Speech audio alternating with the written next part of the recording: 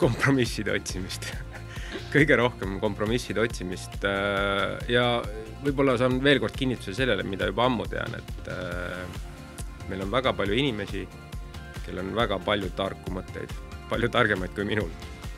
ja, ja nad ei häbene neid välja öelda ja neid on rõõm kuulda